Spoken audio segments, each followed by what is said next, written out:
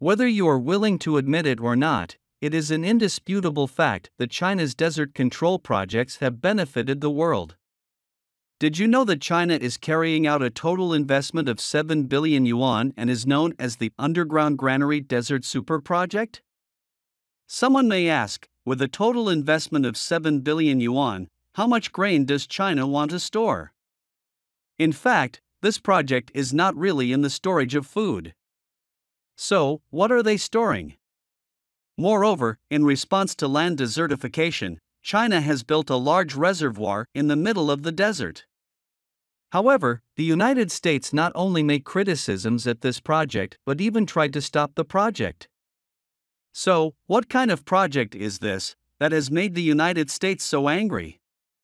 Okay, in today's video, we are going to take a look at China's huge reservoir in desert and the underground granary in desert. Let's get started.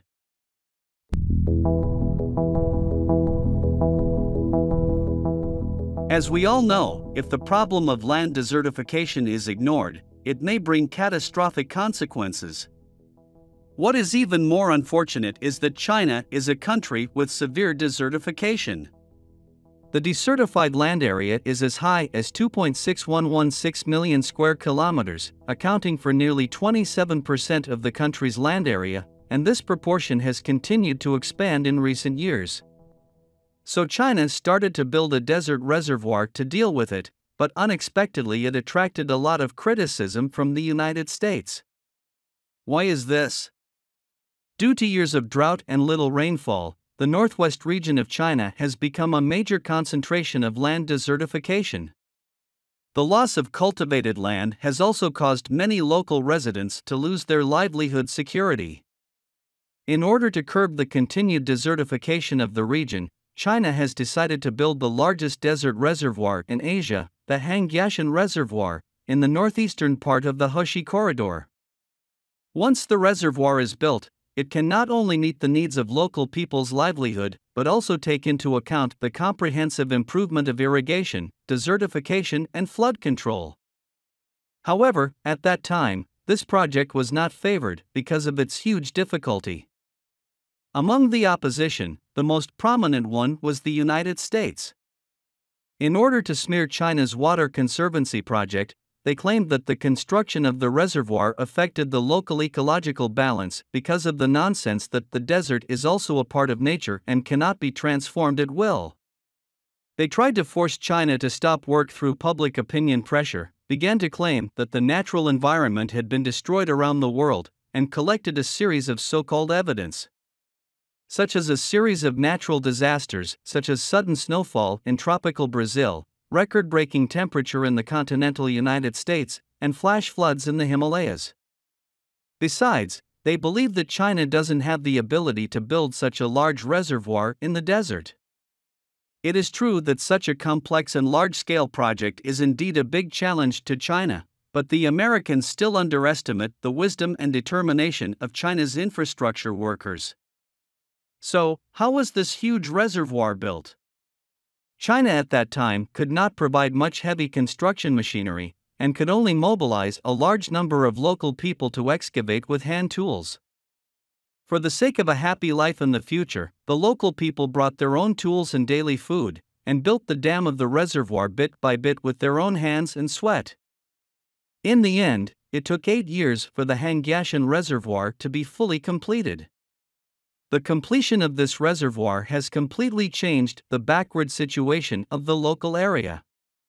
After the introduction of external water sources and accumulation in the reservoir, the local area has a convenient self irrigation water source, and the water from the reservoir can be introduced into the farmland for irrigation. Although the scale of Hongyashan Reservoir is not the largest reservoir built in China, it carries the water demand of 250,000 people. The construction of the reservoir not only improves the problem of land desertification, but also improves the livelihood of the surrounding residents.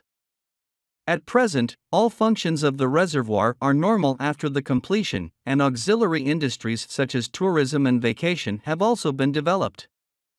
The living of the residents around the reservoir is not only guaranteed, but also the economy has grown to a certain extent.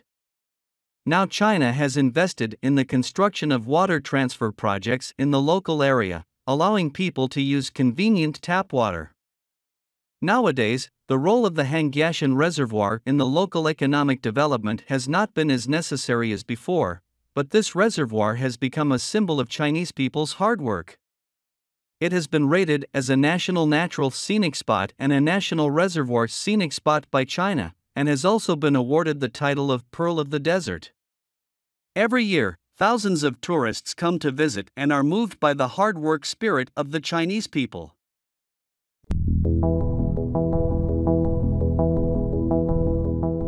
Now let's take a look at China's desert underground granaries. At the beginning of the video, we mentioned that what is stored in it is not real food. In fact, it is the underground gas storage that China built in Xinjiang. Why are gas storages called underground granaries? What is the significance of this gas storage to China? Official data shows that China has a total of 384,000 cubic meters of natural gas and 13.2 trillion cubic meters of proven natural gas geological reserves. However, both the total consumption and the proportion of natural gas in the energy consumption structure are not satisfactory. In addition, from the perspective of geographical features and resource distribution, China's natural gas resources are more in the west and less in the east. Natural gas resources in the central and western regions account for 60 to 70 percent of both total and proven reserves, while natural gas resources in the southeast coast account for only 7 percent. The natural gas resources in the western region are more abundant, but the consumption is less. The eastern region consumes a lot, but does not have much reserves. Therefore, the construction of underground gas storage in the West is imperative. In order to rationally allocate natural gas resources, China began to build natural gas underground gas storages in the 1970s. Unlike oil and coal, natural gas can be stored there without mining. Once natural gas is exploited, it will leak out continuously, and if it is not stored in time, it will be wasted. For long term development, China has decided to build an underground gas storage in Xinjiang. Because natural gas is especially important for national development, the Chinese call it the underground granary. Underground gas storage is simply a natural gas storage tank built underground. The commercial natural gas delivered by the long distance pipeline is re injected into the underground space, so that an artificial gas field is formed in a fixed area. Compared with the spherical tank on the ground, this storage method not only has large storage capacity, strong mobility, and a wide range of peak shaving, but also has a low storage price and is durable. Compared with ground facilities, it is also safer.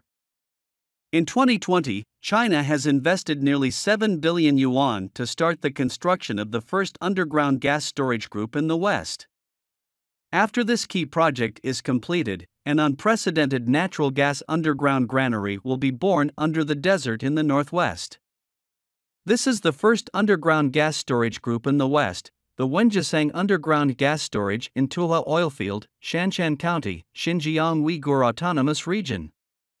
In general, this project can not only effectively regulate natural gas resources in China and solve the problem of resource allocation, but also increase employment in the Western region and improve the living standards of the people in the Western region. Okay, that's all. Thanks for watching. See you.